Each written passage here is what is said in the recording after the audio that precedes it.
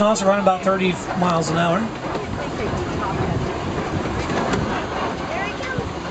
Looks like slow motion. No. I know it does.